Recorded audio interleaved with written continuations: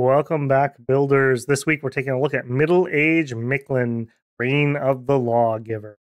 Mictlan is an ancient tribal empire that has been isolated for centuries.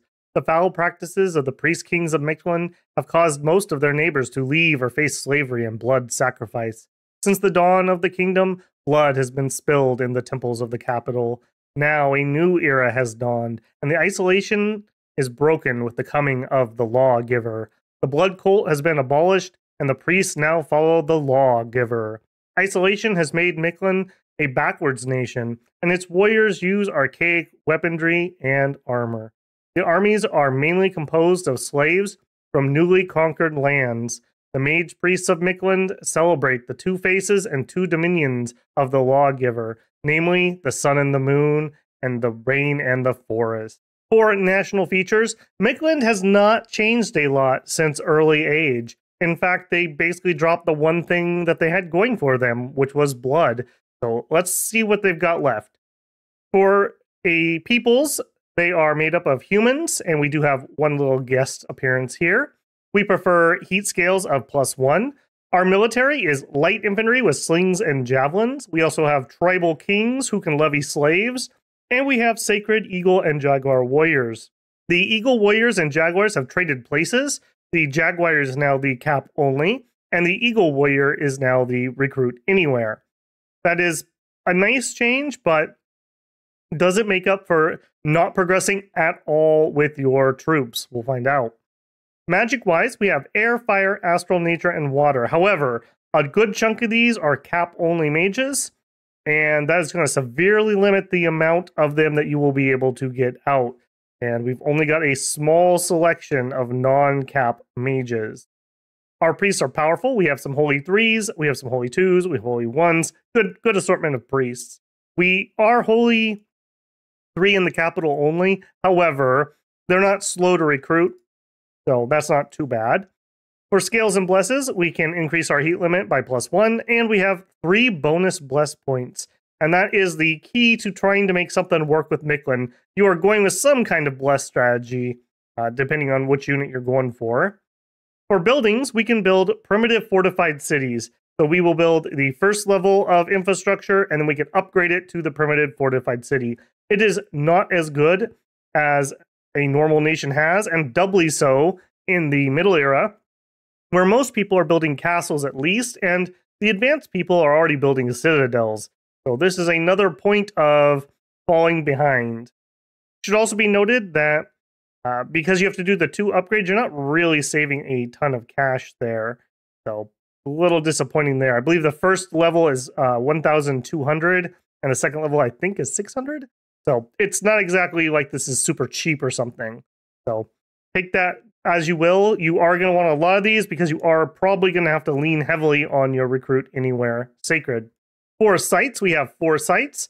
These give us our cap only mages and our cap only sacreds. We have the Temple of the Moon, which gives us an astral. We have the Temple of the Sun, which gives us a fire gem. We have the Temple of Sky and Rain, which gives us a water and air gem. And we have the Temple of the Land, which gives us our nature gem overall a pretty good mix of gems there very useful and things that we can definitely make use of. So that's going to be another aspect finding ways to effectively use those gems because uh, ain't happening here on the troop lineup let me tell you units and sacred. Mictlan is in a lot of trouble here. And Mictlan has essentially not changed since their early era incarnation. We are using the same weapons the same armor Whereas we have other people that have moved up to plate mail or crossbows. It's pretty dire times here. Let's take a look and see what we have. We have the warrior. This is a naked guy with a hide shield. We have human stats, and we have a stone spear and a sling. Uh, pretty bad. Pretty dang bad. I guess it should also be noted they do have forest survival and they are dirt cheap. Next, we have the warrior. This is a the same dude, but now we actually have some armor. Uh, this is one of my main early game rec- uh, recruitments. You need something to stand in front of your leadership while your Eagle Warriors fly and hopefully actually get you kills. These guys at least have nine protection. They are still dirt cheap, nine, eight, seven. They have a leather cap, a hide shield, and a scale mail cuirass. And they've upgraded to a bronze spear and a sling. Overall, you're going to want swarms of these guys on hold and fire or fire and keep distance, depending on your leadership. And you're going to use them to just buy time for your Eagle Warriors to go get some work done. Otherwise, not impressive. Next up, we have Warrior. This is the same thing, but now we've moved up to a reinforced leather cap, and our cost has gone up to pay for that 9, 10, 7. We have a bronze spear again, but we traded out the sling for a javelin. Generally speaking, I think the javelins might do a little better damage, but I'll take the sling just for the amount of shots I can throw. Generally speaking, uh, neither one of these troops is overly impressive. I do think if you prefer these, that's fine. Next up, we have the Warrior. This guy has traded out his spear for a mace. 10 attack, 16 blunt damage versus 10 attack, 13 piercing damage. Um, the slightly higher damage might be worthwhile, just depending on what you're attacking into. Same armor, but the mace is much more expensive than the spear, so now we are at 9 gold, 13 resources, 7 recruitment points. I wouldn't get these guys unless I had a reason to, and yeah, even then, if I need the higher damage, I think I'm going to trade out for the Moon Warrior. Moon Warrior is actually one of our better troops. 12 gold, 14 resources, 14 recruitment. But in addition to forest survival, we have added dark vision. We are much better trained. We have 12 HP, we have 11 attack, and we are using a two handed obsidian club sword. It's a length 2 weapon, so you might get some repels out of it. And we are decent with it. We have an 11 attack. It does slashing and blunt damage for 19. So if I do need to hit harder, I think I'm switching to these guys rather than the mace guys. They're only slightly more expensive. I think you're going to get better work out of them. They have also upgraded to an iron cap, high tech. Next, we have the feathered warrior. These are interesting in that they are standards. A standard will add plus one to the morale of the unit they're in. Uh, only one standard counts at a time, but they tend to die. So you're going to want a few of them sprinkled in. And they're not horrible. 18 gold, so a little pricey. 13 resources, 21 recruitment. They're using the mace and they're a little bit better at it. So they have an 11 attack and they have a javelin. Don't mix these in with slingers because they'll toss their two javelins and then run in to die anyways. Only use these guys if you're doing javelins or non ranged troops. Beyond that, he's down to the reinforced leather cap. They're okay. You probably want a few of them. Armorale, if you haven't noticed, 11 here and 10s across the board for everyone we've already looked at. So we're not particularly brave. Now we're getting into some of the better stuff. Uh, let's do our cap onlys first. We have the Sun Warrior again. He is sacred, he has 5 fire resist, and he has forest survival. Has a bronze hatchet that he's quite good with, a length 1, 13 attack, 16 slashing damage. He also has a javelin. He is using the Mictlan copper scale armor, high tech there, a hide shield, and a bronze cap. So 13 protection is on the better side for us, and he's got pretty good attack. I could see using these guys, but you're probably optimizing for your recruit anywhere. So the usefulness of these guys maybe is a little iffy. Next, we have the cap only Jaguar Warrior. Same as the early age one. We've got the Obsidian Club Sword, furs, and a leather cap. And we have Forest Survival, and we are Sacred. This will still do shape shifting here, as mentioned down below. I wish they had the shape shifting icon so people don't get confused, but they're fine if you want to use them, but again, cap only. Finally, we have what's going to probably be your main troop here the Eagle Warrior. This is pretty good. Note, they are not flying unless they are blessed. So you don't get strategic map move of a flyer, you only get it in combat. Second, they are dirt cheap. 15 gold, 3 resources, 14 recruitment points. This tells us we are probably dumping Sloth and Turmoil because we just don't need those bigger scales to be able to afford them. Third, we are going to need a high amount of Dominion strength because we are going to need a lot of these guys because they are armored with furs and a leather cap. They are not well armored. So we need a ton of them. What they are good at, we have two attacks, one of which is a length three, and it is a lance, so you get the bonus first strike, and it is length three, and you keep it and can repel with it. Those are all very good things with that weapon. Secondly, we have a stone dagger, length zero, but we're better with it at attack 12. Damage wise, though, 13 and 11 respectively. That's a problem. Uh, in Dom 5, you would dump a ton into just upping their strength so that they could hit through heavier armor. It's a lot more expensive to do that now, like a lot more expensive. I don't know how val- how how valuable that's going to be at the price that you have to pay. One option for these guys would be to strength stack, whether it's strength of the earth or blood surge or other sources of strength, or perhaps going with a weapon bless, that something that you can use their double attacks. Uh, we are flyers and we have a lance. We are still only size three, so you do get three of these guys in a square. So you're going to get six attacks out. You could go quickness. You could get 12 attacks out. So we do have a lot of potential attacks, but our damage leaves a lot to be desired.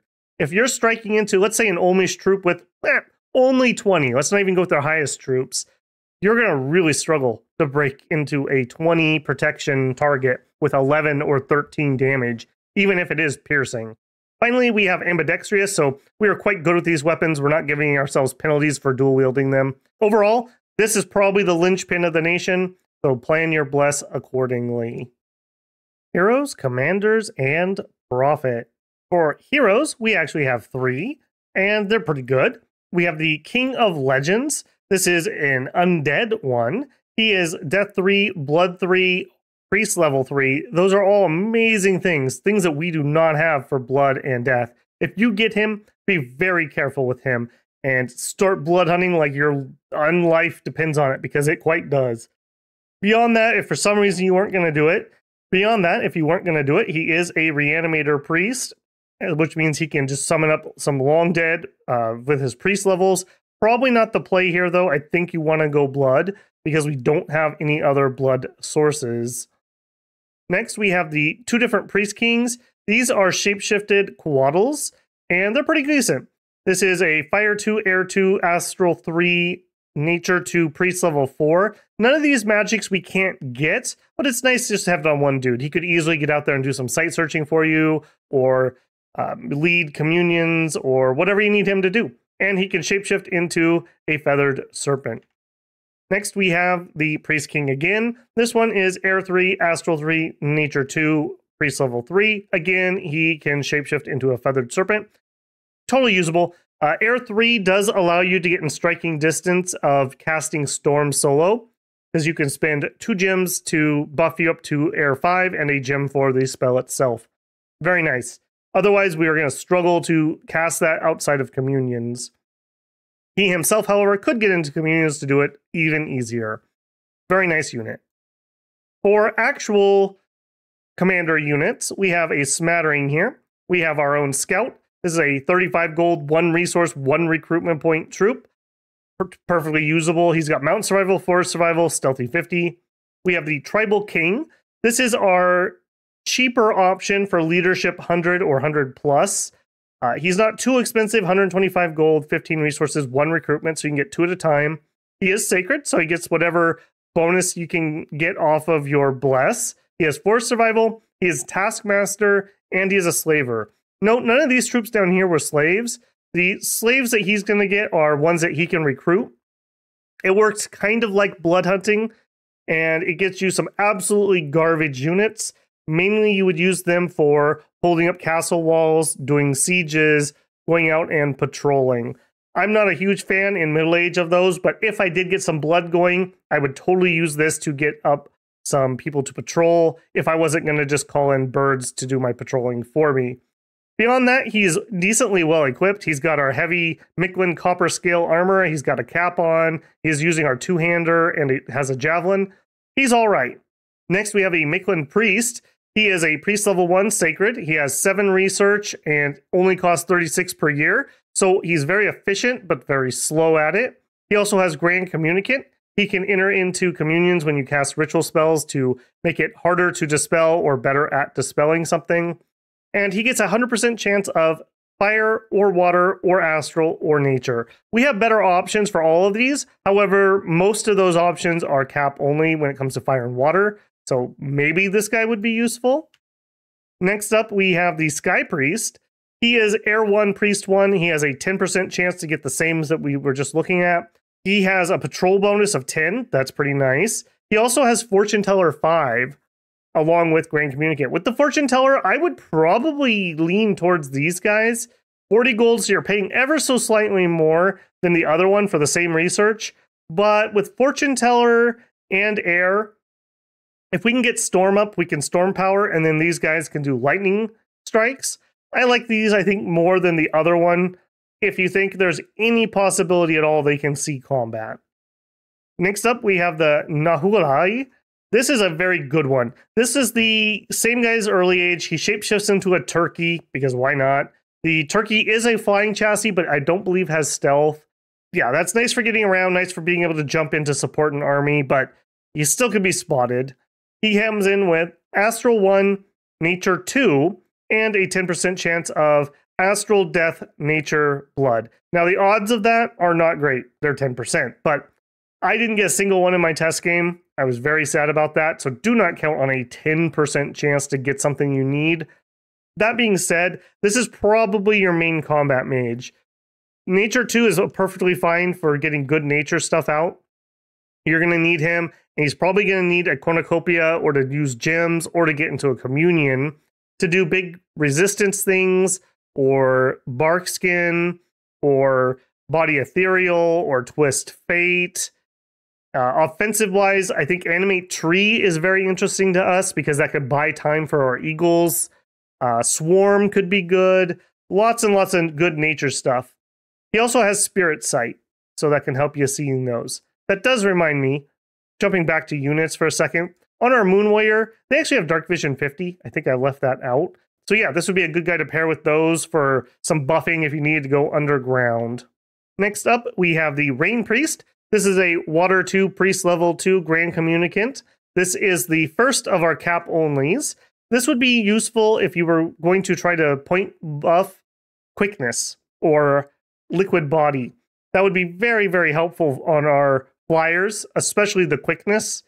So that would be one reason I would get him. Another one would be he can summon in some of our national creatures. So that's a second reason. And you probably need one to get out and at least do some site searching for you.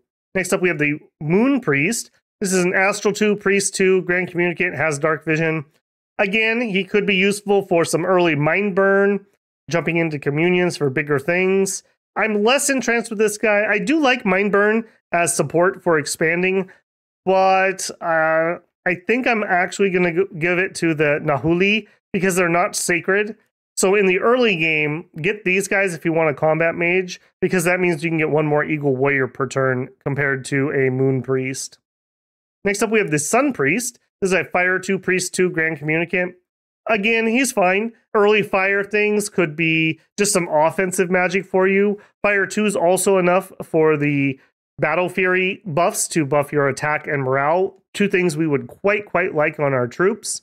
Also, don't forget, we do have a little bit of fire income, so you can distill gold with one of these guys. And as Mictlan, it's very important that we get those early forts up that also need temples so that we can get more Eagle Warriors. So you might be very, very money strapped, and this is a way to get a smidgen more.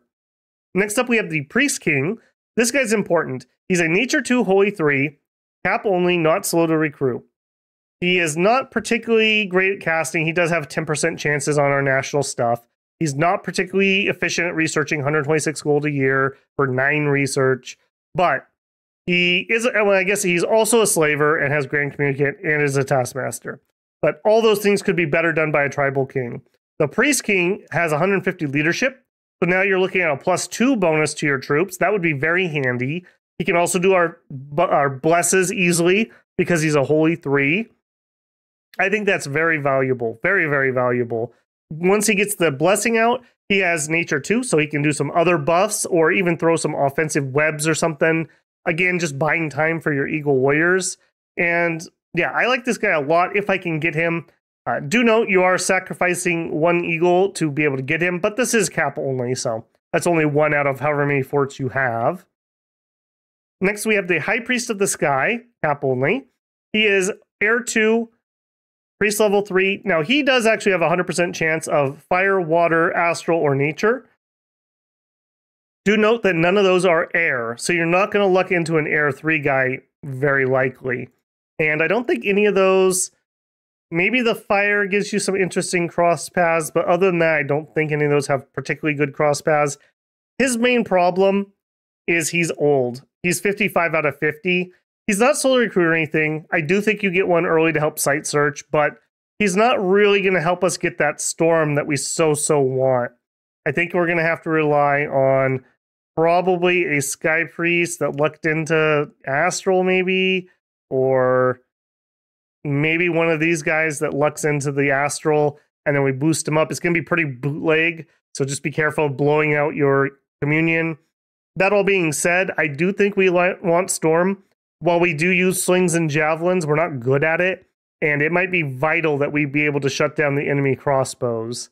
Keep that in mind for sure. Finally, he has Fortune Teller 10. That's pretty nice for preventing bad things. Our last cap only guy is a Coatl.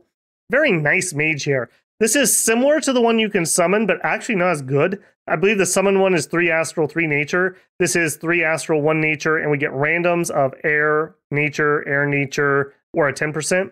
So this is probably the guy that you hope to luck into air 2 on, and then you get into a communion to be able to do your storm. Um, that's probably more likely I guess it could go either way, but these guys are also just useful. You can straight up just do anti magic or any other astral things you need. They are flyers. They do have decent map move at 28. Do note they are magical beings, so certain things can target them because of that. They are cold blooded, so you may want to consider staying on the heat side of things rather than going cold. Leadership 100, but he also has inspirational, so he gives a plus two.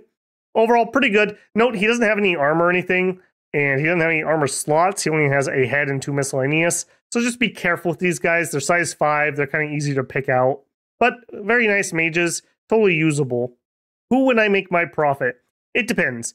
Uh, if I want to turn one prophet, I'm going tribal king. He just becomes a holy three. He's fine to be a prophet. If you can hold out, I would do it on a priest king preferably because that will take him to a holy level four, so we can do fanaticism a spell that we would quite like on our cowardly troops. I think that would help him quite a bit. And he's going to want to lead lots of troops around, anyways. He's our best leader. And later on, if I had somebody die, I probably would want a Coatl because he can fly map move 28. And that way he could fly around and be the quickest of the throne claimers for us. But because we have recruitable Holy Threes that aren't even slow to recruit, I don't think that's vital or anything. But could could be useful either way. National items and spells. For national items, we retain our national item, the Jade Knife. The Jade Knife gives us a sacrifice bonus. Note, though, that we cannot sacrifice for Dominion. I don't believe so. Our Dominion works as a normal nation in Middle Age. And even to make this, we would need to luck into a blood because it requires a nature one, blood one. Beyond the sacrifice bonus, I don't think you would want to make these. So, kind of a moot point here, but maybe you could find another way to do it. Maybe someone can correct me if you can still do blood sacrifices in Middle Age, but I don't believe so since it is not listed as a national feature. For national spells, we actually have a decent smattering here. For national spells, all of our national spells are either in Conjuration or in Blood. In Conjuration, we have Summon Jaguar Toads at 1. We have Summon Jaguars at 3. We have summon Jade Serpents at four. I think that's one of our better ones. We have summon Monster Toads at five. Summon Coatl at six. Those could be nice to supplement our mages if you don't have anything else to do with nature gems. We have summon Tlaloque at seven. Over in Blood, we retain our Blood summons from early age without the availability to actually get enough slaves to do it, but if you look into it somehow, here they are. We have Bind Beast Bats, Bind Jaguar Fiends, Contact Civateteo, Bind Tzitzimitl, Contact Tlahuelpuchi, Contact Onaqui, and Rain of Jaguars. Let's take a look at those units that we can summon in. Starting, I think, with the non-blood blood summons. So over there, we have our monster toads. These guys are all right. Do note they have a poison cloud so be careful about friendly firing yourself. They are sacred, however. We have the Jaguars. These are sacred and they do have dark vision. Maybe pair these with some moon warriors for some underground expansion. That could be vaguely useful. We have the Coatl as similar to our nation, although this guy costs zero upkeep. Do note that. And he comes in as Astral 3, uh, Nature 3. That's pretty handy there. We have the Tlaloque of the East, South, West, and North. Each one of these is interesting. They do make rain fall on the battlefield where they show up. Could be pretty nice if you're fighting people who are throwing around fire spells. Do note they are actually demons. They also do break you into blood. So if you are, have your heart set on blood and death stuff, these are the guys that are going to allow you to maybe do that. So this is quite a ways to get up there, though. We take a look at that spell again. This is all the way up at Conjuration 7, and it requires Water 4. We only get a Water 2 guy. Um, so you're going to be looking at doing some boosting or some item crafting to get there. But I do think that this is pretty useful, much more useful than it was in early age because of the blood break in. Over in blood stuff, we have our beast bats. Same thing applies as before. They're kind of chaffy. They do have a nice venom attack. They are sacred.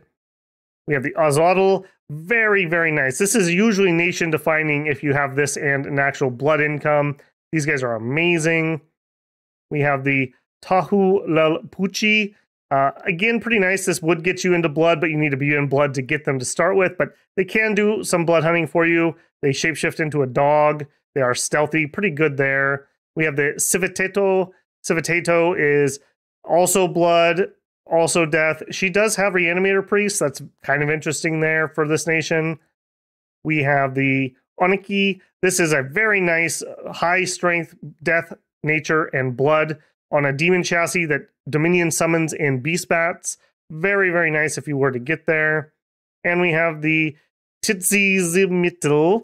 This is like a better storm demon, kind of. They ha- they throw stellar bolts that are quite, quite powerful. You can only do magic resist for half damage. And yeah, good range on them. Overall, not going to go into too much detail on the blood ones because it's unlikely you will be able to get there. If you want more detail about those, refer to my early era overview of Mictlan where we looked at those much more because they were much more relevant to the nation. I think finally in here, uh, I skipped him for last because I think he's the most useful. The Jade Serpent. This is Conjuration 4, only costs you a few water gems, and you need a Nature 2 guy to summon him. It's three gems and you get two of these guys. So pretty efficient. 62 HP, size 8, so they can kind of push to the front. They're sacred amphibians. They have the standard effect. They have poison resistance. They're cold blooded. They have a good attack. If you can buff them up a little bit, I totally think these are worth using. They're going to take whatever bless you have. And even if you can't, you could point buff them with some protection or some body ethereal, maybe. And that will that'll keep them going with 62 HP. They have a decent attack, especially if you could give it maybe a little more oomph in your bless. It is death poison. Um, they have the standard effect and they're much less likely to die than most standards. I would love to get lots and lots of these. I think investing your water gems here is not a bad plan if you don't think you're going to make it to those big conjuration uh, summons with the demons of the compass directions. Otherwise, for magic, I think alteration is very, very key on this nation it's going to give you the ability to do ethereal, to do twist fate, and I want to grant that to other units, especially our Eagle Warriors. They can use all the defense they can get. We can do bark skin stuff, elemental type stuff. We can do swarm. At five, we have storm, which might be vital. I think going up to six might even be in order here because you can do wooden warriors, giant warriors, Eagle Eyed Warriors. I think those are all good buffs. Do note we have a big hole in Earth. We have no Earth on this nation, and that hurts when you're looking at units that would quite like to be buffed. Uh, also, in Alteration, I don't use this a ton myself, but I think I should. Animate Tree. Animate Tree can be pretty dang powerful, and we have lots of people who are pretty good at casting it. Our Nature 2 guys can do this for 10 fatigue. Get tons and tons of these out to buy time for our Eagles to kill things. Ideally, you'd have like knights attacking trees and shrubs while we kill the leadership in the back with the eagles. That would be very nice. I also think that you like Conjuration, especially early up to four. If you're going to go to four, maybe you go to five. That one's a little harder for me to justify. Yeah, I don't know. Monster Toads are okay, but I'm worried about that. You could get Howl off, maybe. You might be able to get a guy with some work that could do winged monkeys. I'm not sure about that. But you definitely want to go high enough to get summon storm power. Two, and if you're going to go to two, you might as well go to four, I think, for the Jade Serpents. In Evocation, we do have, with summon storm power, people who can spam Lightning Bolt or Shockwave. I think those are both fine. This also would give us Cold Blast, which we can cast as well as give us Fire Blast, which we can cast, Flare, which we can cast with a self buff, Web, which can be pretty useful. So I think two is a great spot. Three would get you Fireball and Stormwind. Maybe on that one would also get you Poison Darts. Do note that Breath of the Dragon at four also is a pretty good combat spell. It is a armor negating spell, and we can easily get lots and lots of nature twos. That's going to be our main battle mage. And if you're fighting things with high, high protection, we don't have a lot of options for dealing with that. I think it's lightning or it's this. And these mages are easier and safer to get than getting the the air mages early, and you need the storm, and you need the communion to put up the storm. This is probably the safer bet if you need some offensive magic. Enchantment wise, we do have the ignite arrows. We can cast it, and that would be pretty good for our mass slingers. Beyond that, we also might need to do uh, Flame Ward if we need to protect ourselves from something like that. Poison Ward might be useful, things like that. In Thaumaturgy, we have the Communions, of course. We also have the Battle Fury and the Mind Burn. All are things that we can cast for ourselves. So you can see here, we kind of want a smattering of a lot of different things. We might need boosters, so construction might be useful. We might need we might even need get some gear, but who would you put it on? I don't know. I think you're mainly looking at gear that's going to uh, facilitate communions and casting more than like a thug type thing. Although maybe if you've broken into the blood stuff, maybe that becomes more relevant. And you'd also want the sanguine dousing rod if you got there. Let's bring it all together. Mictlan is a nation that is stuck in the past, and they have left behind the only thing they had going for them, which was blood, when the rest of the world has embraced blood, or at least started moving in that direction. What do they have? Well, they made a good choice of keeping their recruit anywhere sacreds. The Eagle Warriors are your shining jewel of units. We do have some good casters, but they're they're cap only, unfortunately. So you need to be very strategic about who you're recruiting, when you're recruiting them, and not losing them. We have an okay summons, so gem income could be quite good, and you don't have to stick to just your national summons. Other things could be useful. If we could get some earth income somehow, and we had an earth caster on our pretender, we could summon in a troll king that would give us weapons of sharpness. That would give us strength buffs. We would really like to have those things. Another option would be going with glamour and earth and summoning in, or glamour and nature and summoning in a gnome to get break us into some earth stuff there. So there are other options, but they're going to be very difficult to do because we just don't have any variety in our magic beyond what we are pretty good at. Other than that, uh, we do need lots of infrastructure. Uh, this game, this test game, has not been going too well. I had an event that killed the palisade I was building here. Literally, the turn it was before it would finish. I have one up here. I'm in a war with Ermor early. That's always fun. Uh, at least there, I have holy twos and threes that can help fight because he's got 340 undead already. And we're only on turn 16, so I have that to look forward to. Uh, beyond that, I do think having the Holy Threes helps us out. We can try to claim thrones in multiple areas. We can support uh, uh, banishing different undead uh, nations. That's pretty helpful. But we hurt. We are definitely not on the stronger scale of nations, I would say. And the thing that's going to keep us in this game are all these beautiful eagle warriors. So, what we go with for our bless will probably determine our fate. To that end, let's go take a look at some pretender designs. Middle Age Mictlan has many of the same chassis that we had in Early Age, a good smattering of things. okay access to some blood ones, which may break you into the blood if you're just have your heart heart set on that. Maybe like a fountain blood hunting your cap from like turn one or something crazy like that. Could be a way to go about it. Do remember that you get a bonus three bless points, and that's going to be very, very important to make use of that. For unique chassis, we have the colossal head stuff. We have the statue of the Bloody Mother. We have the Aztec type ones. I think most notable from those is the Teto Inan. This is a decent chassis. It raises your turmoil limit, so you could go deeper into that.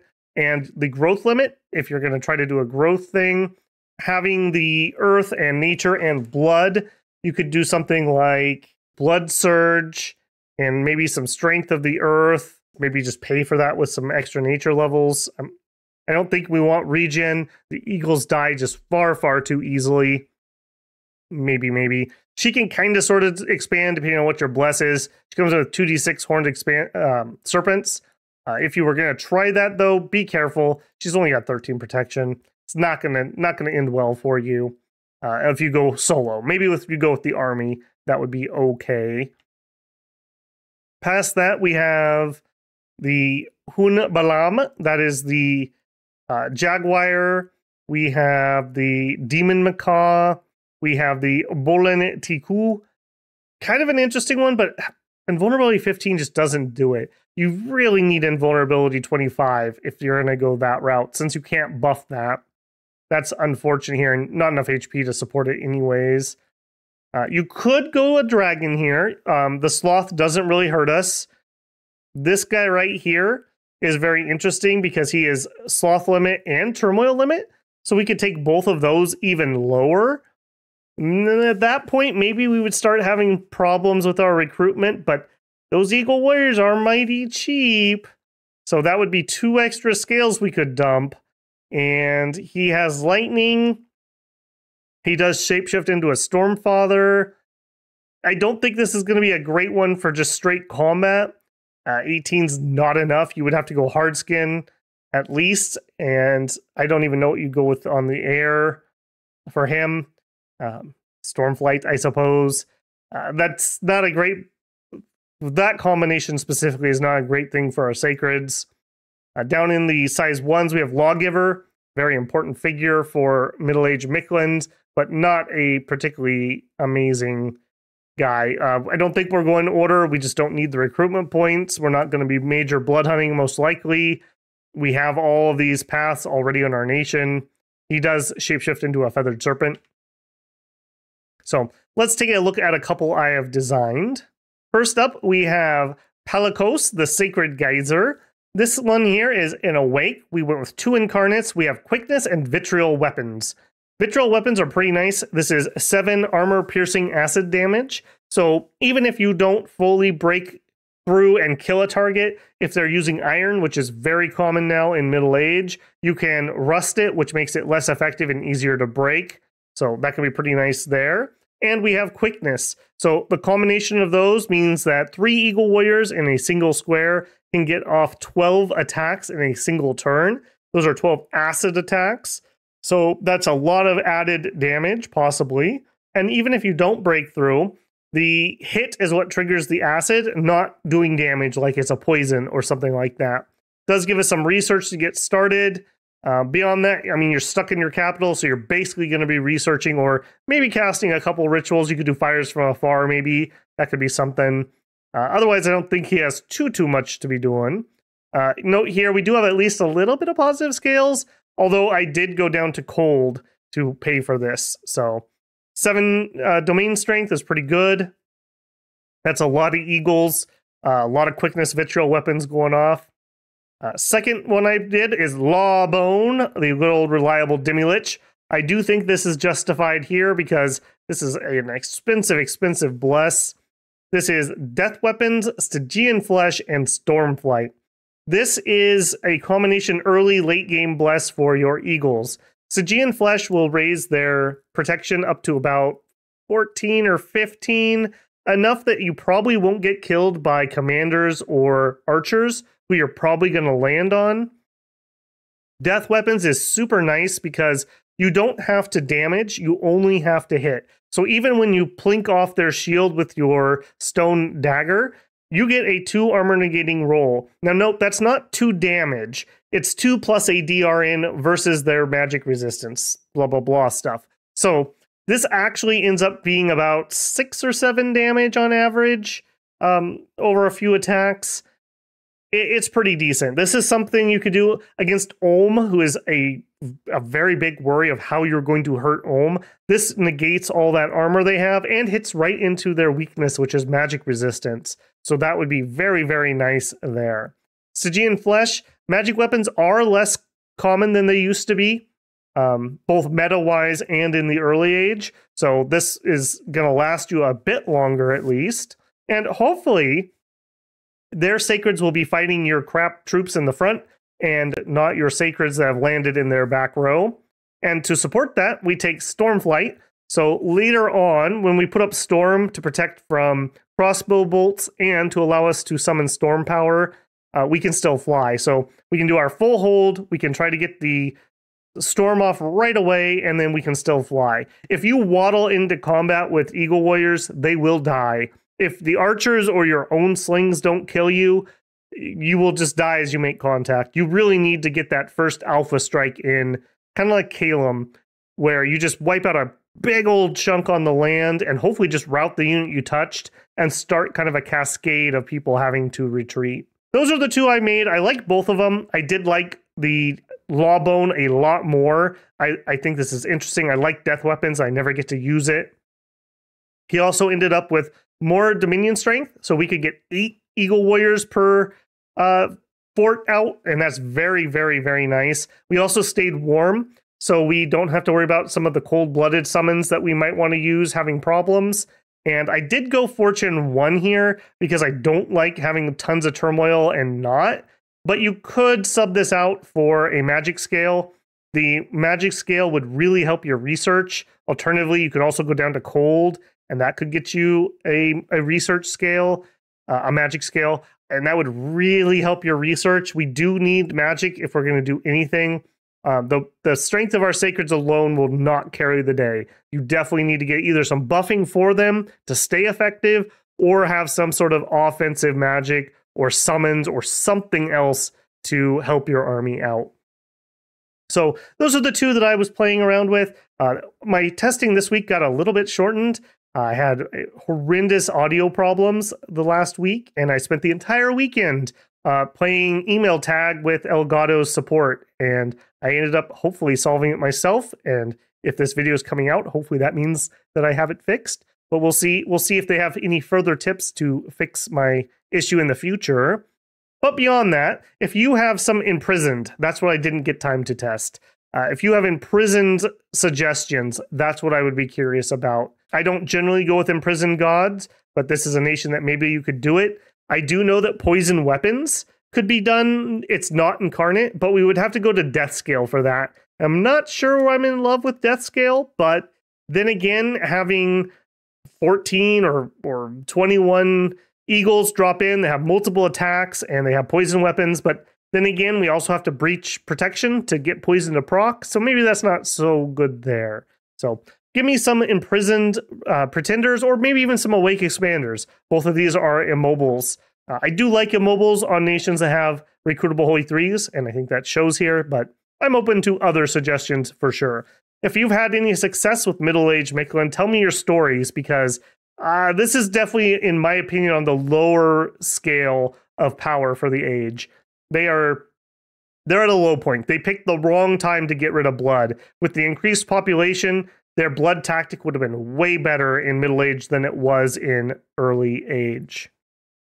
All right, in conclusion, Mictlan is a nation stuck in the past that is going to rely on its sacreds and a huge bless, backed up hopefully relatively quickly with some decent nature astral mage support, along with some specialist mage support out of your capital. And if you can make all that work together, I do think it's a cool nation. I do like the flavor. You know, as much as we meme on Mictlan, I do think they're kind of a cool nation and they're very different. Like uh, nations that just don't progress. In fact, in some ways, we're going to regress when we go to late age. So, yeah, it, it's it's interesting and different.